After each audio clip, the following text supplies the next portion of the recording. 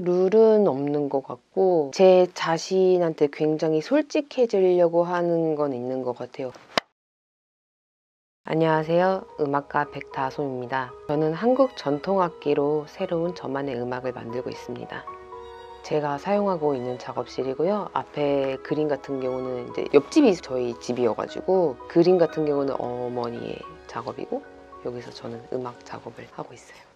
출퇴근 시간이 있다기보다는 딱히 저 같은 경우는 프리랜서로 활동하는 사람이라서 이제 하루에 뭐 최소 몇 시간은 내가 어, 해야겠다라는 거를 정해놓고 이제 시간을 이제 알아서 개인적으로 조정하면서 작업하는 방식으로 하고 있습니다. 음악 작업이 어떤 거냐에 따라 다르긴 하겠지만 혼자 개인적으로 이제 뭐 연습을 한다던가 이런 거는 최소 3시간 이상은 하려고 하고 뭐 작업 시간 이외에도 다른 연주자분들이랑 뭐 연습을 한다던가 이런 식으로 활동을 하는 편이라서 시간을 네 그렇습니다. 제가 2019년에 이제 뉴욕에 있는 레지던시를 다녀왔는데 그곳에서 제가 처음으로 저의 창작 활동을 하게 됐어요.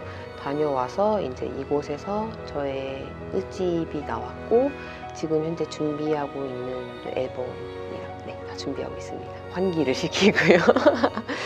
지금은 요즘은 이제 겨울이라서 오프기를 틀고 이제 방에 와서 관악기가 전공이다 보니까 악기를 먼저 푸는 연습을 먼저 하고 있어요. 제 음악을 시작하게 된 계기가 내가 온전하게 이제 연주자로서가 아닌 내 음악을 만들고 내가 만든 음악을 내가 연주하는 작업을 하고 싶어서 시작한 거기 때문에 이제 제가 만든 음악은 다 저의 이야기가 담겨 있는 거거든요. 정말 제 자신한테 이것만큼은 가장 솔직해지려고 하는 네, 그런 거예요. 유난히 작업이 잘 되는 날이 있고 안 되는 날이 있잖아요. 근데 저는 작업 방식이 어, 일단은 녹음기를 켜놓고 그냥 계속 계속 다 하는 방식인데 유난히 잘 되는 날 같은 경우에는 그냥 계속 하는 것 같아요. 새로운 거 만들고 계속 계속 하는 것 같고 안 되는 날 같은 경우는 뭐 잘 됐던 날들 거를 이제 들으면서 거기서 발전을 시켜 본다든지 아니면은 그냥 여태까지 만들어 놨던 거를 연습을 좀 한다든지 이런 식으로 하는데 근데 또 안 되는 날이라고 안 하다 보면은 끝이 없어서 그냥 일단은 안 되는 날도 녹음기를 켜놓고 마음에 안 들어도 버, 나중에 버리더라도 진행을 하는 것 같아요. 똑같이 이상할 것 같은데 제가 제가 음악을 만들 때 소리라는 거에 되게 집중을 많이 하거든요. 그러니까 원래 대금이라는 악기가 이렇게 해서 연주를 하는 거잖아요.